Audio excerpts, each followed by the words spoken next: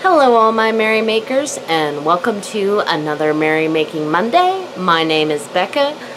I'm going to apologize for the sound of the fan in the background. My air conditioner is on. It's summer. What do you, you know, what you gonna do?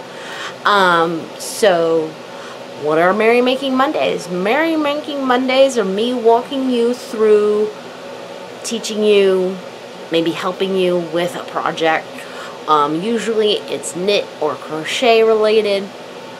This week is no different. We're continuing, continuing in the oolong tea shawl. Um, I'm trying to do it on pace with you guys, uh, about 15 minutes a session. Um, I was thinking about this the other day and I realized that sooner rather than later, one row is going to take us longer than 15 minutes. So you guys got to let me know what you would like to do when that situation occurs.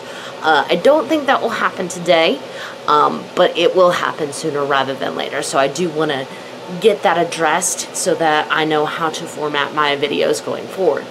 So we'll see how far we get today. And without further ado, let's get to the, oh, uh, I almost forgot. Oolong Tea Shawl is not my pattern.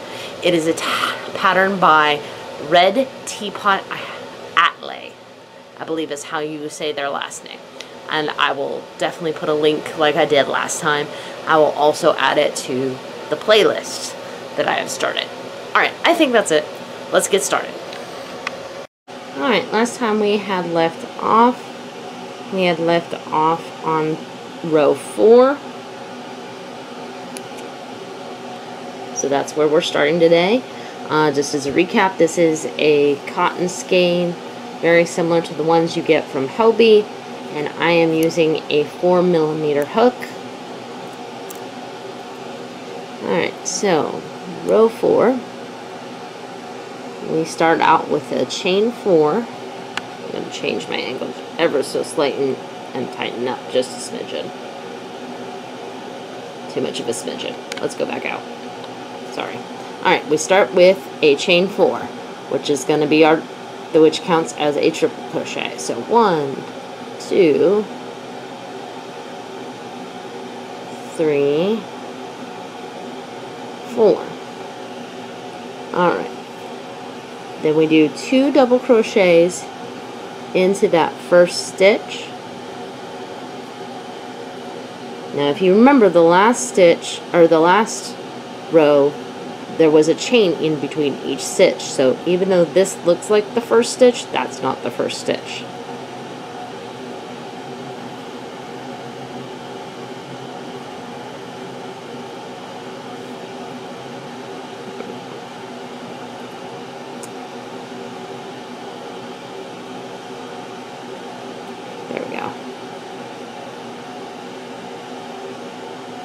One double crochet Golly, why am I having so much troubles with this?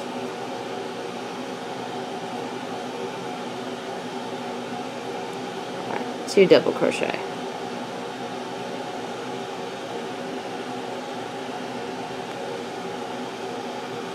There's a knot in the yarn. I don't know if you can see it, but that's why I'm struggling there for a second. Alright.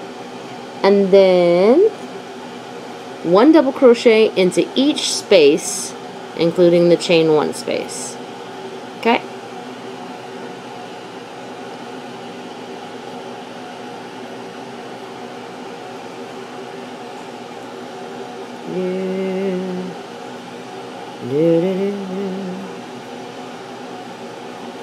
Must be careful about what I hum. I don't want to get hit with copyrights.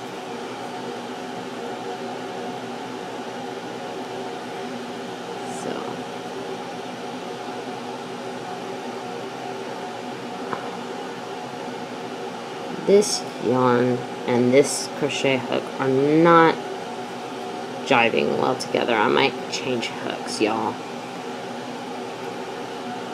I'm not going to change the size, but I might change from a bevel to an inline. Um, and if you don't know the difference, uh, Miss Crystal from Bag Day Crochet has a whole video on the difference between beveled and inline. And yeah, guys, give me just one minute. I'm going to pause and come back with a different crochet hook. Alright. Let's see if we don't have a little bit better luck with this crochet hook.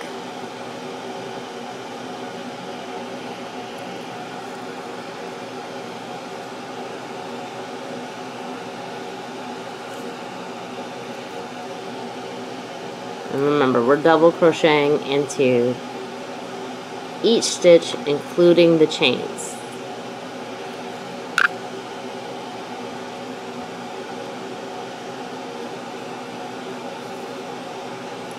I'm doing much better with this hook. And that just goes to show you, sometimes if you're struggling, you know, before you change hook size, just if you have multiple sets of crochet hooks, change out your hook to same size, just a different type.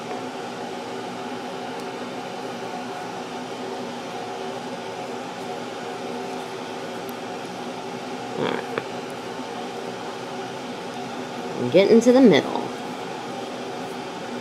Alright, once we get to the middle, we're going to do something because it says until we get to the middle. Alright, so now we do two double crochets.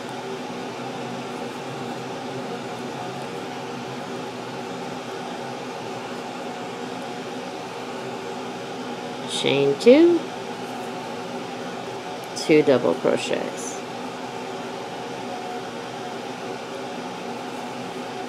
And then we continue with and that's all in the chain two space. So you have a total of four double crochets with a chain two in between them in that middle space. And now we go back to one double crochet per stitch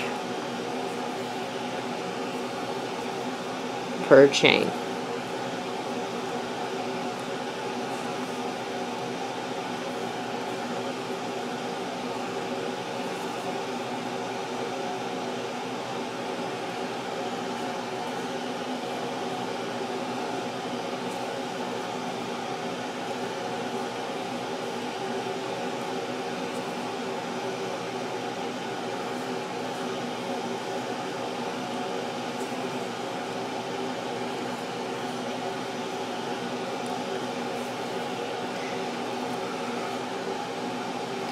Um, I think I'm going to be ending up giving this shawl to my sister. She saw the purple shawl that I had made for my mother, and she wanted it. Um, the, the ladies in my world like purple.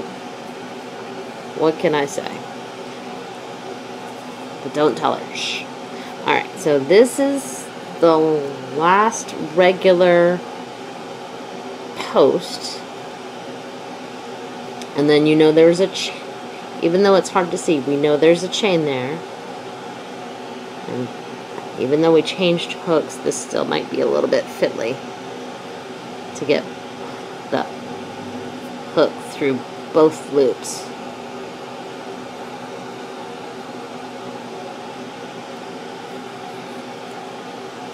Alright.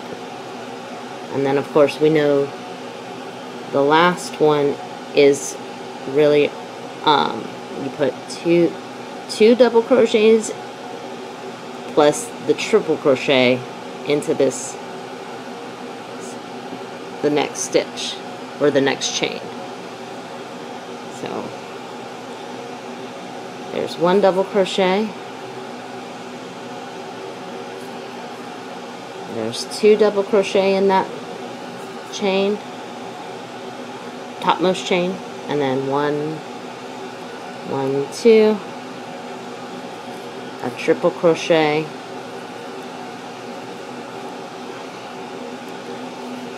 And that's the end of round four. Ah. alright or Alright, row 5, chain 4. Three, four. I know what you're going to say. Does every line start with a chain 4? And the answer is no. Um, some of them are chain 5. so, uh, so that for two double crochet into that first stitch, one, two. Alright. And then one front post double crochet into each stitch. So, in case you don't know how to do a front post double crochet, I'm going to go over it slowly. So you wrap your yarn around your needle like you would for a regular double crochet, and then you you go you're going around the post. So, I'm going in from the front, so that's what makes it a front post. Let me show you again. Wrap it around, going around the post from the front, grabbing the yarn, and then complete it like a regular double crochet.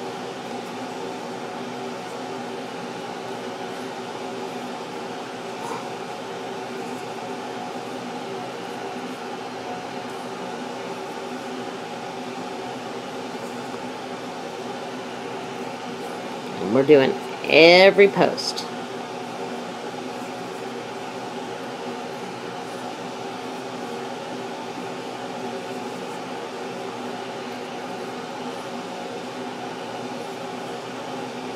until we get to the middle. I'm going to go ahead and pause and come back. I know I said I wasn't going to do that, but we're going to have to do that anyway, I think. So, sorry. Okay, so we have reached what the pattern calls the chain 2 middle space. And as you can see, I've done a front post double crochet on every stitch. And we're about to put our stitches into the chain 2 middle space. And the instructions are to do two double crochets.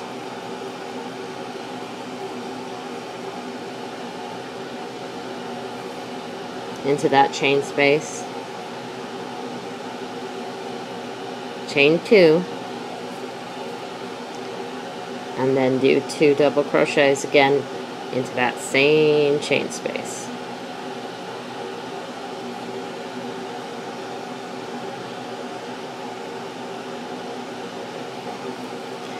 And then we go back to doing front post double crochets around each one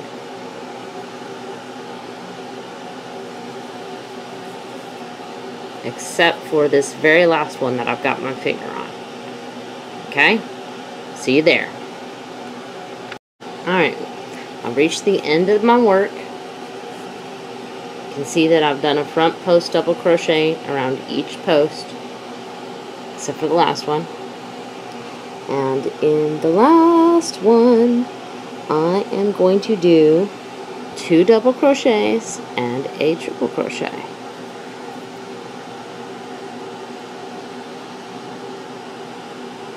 Trying my best to get that hook underneath both those loops. Usually the first one is the hardest. Gotta prove me wrong, don't you, Yarn?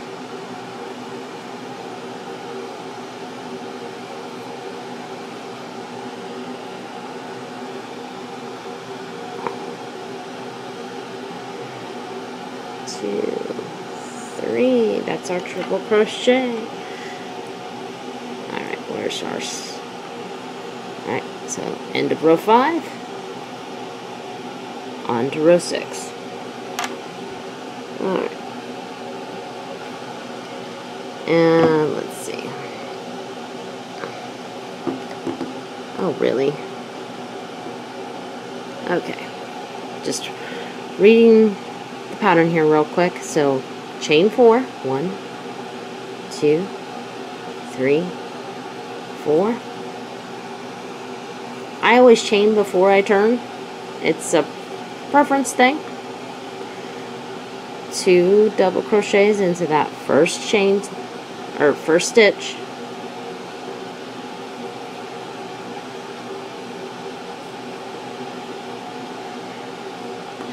And then we are going to put a single crochet into each crochet into the top of each one of these until the middle space.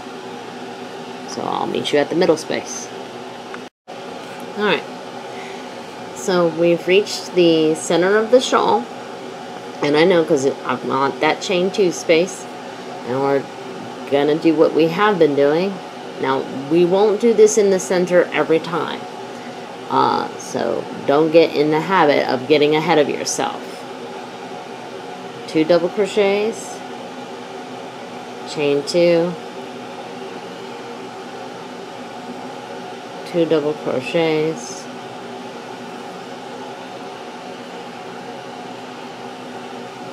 all in the same space, and then back to putting a double crochet in each stitch except for the last one. I'll meet you there. Alright. We're at our last stitch. We're ready to do two double crochets and a triple crochet all into this same stitch.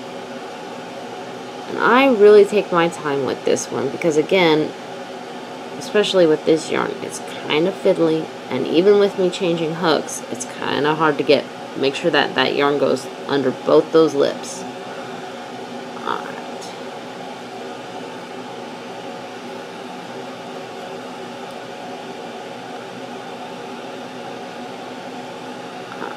And that is the end of row six. Um, so I feel like doing three rows is a good number. Uh, I know it doesn't feel like a lot right now, um, but later on when we, I mean, I'm already having to crochet off camera so that you don't have a long boring video. Um, but you can see this is going to grow quite quickly. So it's going to take longer and longer to finish the rows. So trust me, you will thank me when I only do three rows per video. Um, and and Patricia from Crack Crochet called it like compared it to doing the weekly uh, crossword puzzle, and I really liked that. You know, spend about 15 minutes a day working on it, and you can get it done. Alright, so um, I hope you enjoyed this video tutorial on the Oolong Tea Shawl by Red Teapot Atelier. Join us next week for rows 7, 8, and 9. Until then, my merry makers, make what makes you merry. Ciao.